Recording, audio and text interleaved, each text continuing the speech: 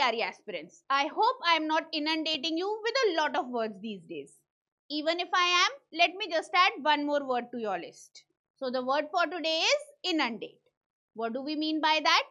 Inundate means to flood or overwhelm with a lot of something. It can be information, water, tasks, etc.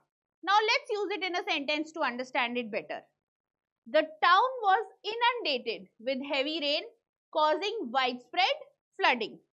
So that was our word for the day, inundate. I hope you will remember this word. Come back tomorrow at the same time to learn yet another word. Subscribe to our channel to stay updated on all things GRE.